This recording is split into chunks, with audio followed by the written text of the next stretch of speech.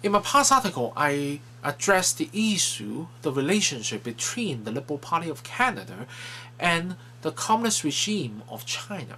I demystified Justin Trudeau, one of his most notorious pro-China speech in the past. There is a flexibility that I know Stephen Harper must dream about of having a dictatorship that he could do everything he wanted, uh, that I find quite interesting. I also talk about the issue of media bias, especially those from right-wing and extreme right-wing. This time I want to talk something pragmatic, trade and immigration. They are pretty essential for Canada and Canadian society. Justin Trudeau may hate communist China a lot, but there are two things he cannot ignore. First of all, the pro-China faction in the Liberal Party is pretty strong. In fact, mainland Chinese community given them a lot of votes so that they won the election in October.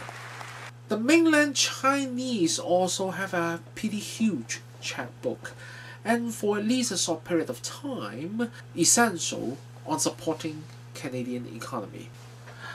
Immigration is a backbone for Canada. In fact, Canada is a society consists of immigrants except the indigenous people. We are all immigrants.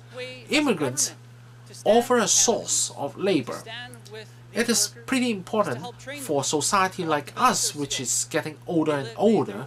They also offer us a source of taxation that support our pensions, Medicare, and lots of other benefits. That is why the former Conservative government under Stephen Harper, no matter how much they express their dislike on China's human rights records, went there twice to strengthen the trade. China has been witness to the greatest surge in general prosperity in the history of mankind.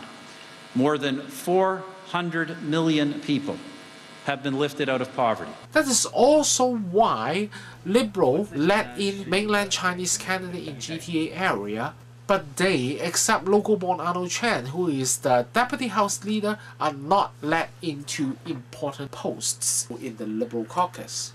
Like some reports said, immigrants do give us inconvenience. Like some say Chinese make the realty price higher than they should be, especially in Toronto and Vancouver. Also, they do something we really don't like, like honor killing, bad hygiene, anything like that. But they are not hard to solve. We can put up laws and rules and regulation and strongly enforcing them. We can also educate them and tell them not to do that again. But absolutely stopping immigrants to enter Canada is not the solution. Multiculturalism is a, a, basic vision for Canada, but we can't talk about it. It's out of the topic today. Trade is important, and China is a huge trade partner. We gotta have a good relationship with China, but we must take caution. First of all, hold a stand, especially on human rights. Anastasia Lin can't attend Miss World final just because she's a Falun Gong practitioner and government of Canada have no reaction at all. This is a big failure. Also beware of China. They're not to be trusted. Just look at Hong Kong. China can't keep promise on the treaty they signed. This is a big warning. Also beware of some Chinese Canadians loyalty lies. They may have a close relationship with Communist China for the benefit of Canada. They may concern a lot about Hong Kong, but you never guarantee their loyalty really lies with Canada. Communist China has a big checkbook. They need lots of oil and mineral resources from us, and we need lots of goods from them. But we always have to beware when we trade with them. They're like gangsters, so they can't be trusted.